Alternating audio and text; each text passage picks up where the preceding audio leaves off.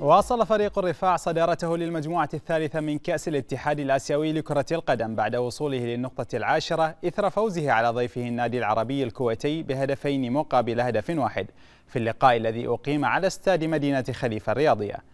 وتقدم الرفاع في الدقيقة الخامسة والعشرين عبر البرازيلي فينيسيوس فارغاس وفي الشوط الثاني ضاعف سيد هاشم عيسى النتيجة بتسجيله الهدف الثاني في الدقيقة الثانية والخمسين قبل أن ينجح العربي في تقليص الفارق في اللحظات الأخيرة من المباراة عن طريق لاعبه النيجيري ثيام. جماهير نادي الرفاع ولا جماهير كربحني على الفوز ونشكرهم على حضورهم. اليوم الفوز نهديه لسعادة الشيخ عبد الله بن خالد. اللي اتمنى يكون ويانا موجود في الملعب ولكن هو موجود ويانا من خارج الأسوار. آه، الحمد لله رب العالمين آه، لاعبينا كانوا على قد الثقة على قد المسؤولية. حضرنا المباراة بشكل جيد. آه، قرينا نقاط الضعف نقاط القوة توفقنا اليوم. كنا بالإمكان نزيد الغلة ولكن هذه هذه كرة القدم في النهاية فوز مستحق. فوز البعض قلل من فوزنا في مباراة الذهاب في العربي لما قالوا ناقصين 14 ما إي ولكن اليوم أثبتنا أن إحنا كنا نستحق ست نقاط وليس ثلاث نقاط. خسر ممثل كرة اليد البحرينية فريق النجمة أمام فريق كيلسي البولندي وصيف بطل أوروبا بفارق هدف واحد وبنتيجة 26 هدفا مقابل 27 وذلك في انطلاق مواجهة كأس العالم للأندية لكرة اليد سوبر جلوب والمقامة بمدينة الدمام السعودية. وقد حاز حارس فريق النجمة علي خميس على جائزة أفضل لاعب في المباراة. انطلقت دورة دراسات الترقية للحكام لنيل الشارة القارية لكرة اليد بتنظيم من الاتحاد البحريني لكرة اليد وبإشراف من الاتحاد الآسيوي لكرة اليد. وشهدت الدورة مشاركة 19 طاقما تحكيميا من البحرين والسعودية والكويت والعراق وسوريا إلى جانب إيران وكوريا الجنوبية والمالديف وهونغ كونغ وبنغلاديش. ومن المقرر أن تستمر هذه الدورة حتى السادس عشر من الشهر الحالي. بمشاركة رئيس لجنة الحكام بالاتحاد الآسيوي لكرة اليد السيد صالح عاشور. دراسات من ضمن خطط الدراسات اللي نحن نعملها في الاتحاد الآسيوي هناك استراتيجية نعمل عليها ويمكن هذه الدراسات جت في نهاية الموسم الرياضي لأن بسبب الالتزامات الكثيرة اللي إحنا مرينا عليها من خلال الدورات أو البطولات الآسيوية وهذه ترحيل بطولات بما جتنا في الجائحة والحمد لله رب العالمين الأوضاع بدأت رجعت. آه، صحيح أن هذه الدورة في عدد كبير من من من الدول اللي شاركت وعدد الأطقم يمكن فاق العدد اللي كنا إحنا نتصوره.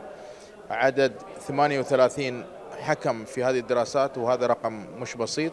أشكر الاتحاد البحريني على الاستضافة على استضافة الدراسات.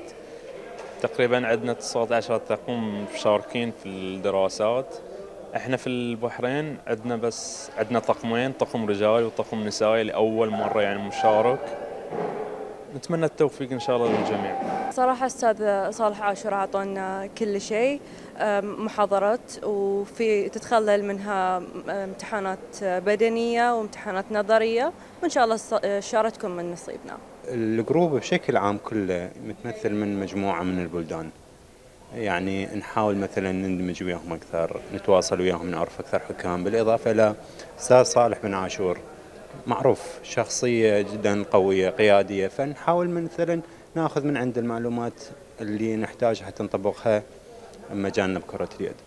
حسم فريق الأهلي قمة الجولة الثالثة من دوري عيسى بن راشد للكرة الطائرة بفوزه على فريق النصر بثلاثة أشواط مقابل شوط واحد في لقاء الفريقين ضمن منافسات المجموعة الثانية وشهدت المواجهة إثارة كبيرة بتقدم النصر في الشوط الأول بواقع 25 نقطة مقابل 19 فيما رد النادي الأهلي بثلاثة أشواط متتالية جاءت بواقع 25 نقطة مقابل 18 و25 مقابل 21 و26 مقابل 24 نقطة. وبهذا الفوز نجح الأهلي في تحقيق انتصاره الثالث على التوالي فيما تلقى فريق النصر هزيمته الأولى بعد فوزه في الجولتين الماضيتين. وفي مواجهة ثانية لحساب المجموعة الأولى حقق فريق دار كليب انتصاره الثاني في المسابقة بعد تقلبه على فريق المعامير بثلاثة أشواط مقابل لا شيء حيث حسم دار كليب الأشواط الثلاثة بنتيجة 25 نقطة مقابل 10 و25 مقابل 9 و25 مقابل 14 نقطة. حقق فريق البحرين المركز الثاني في بطولة كأس آسيا للركب السباعي والتي أقيمت في العاصمة القطرية الدوحة.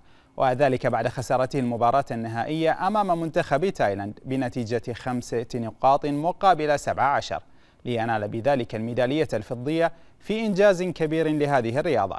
حيث تعد هذه المشاركة الخارجية هي الثانية لفريق البحرين للرجبي بعد ظهوره الأول في كأس الأردن الدولية وتحقيقه لقب البطولة.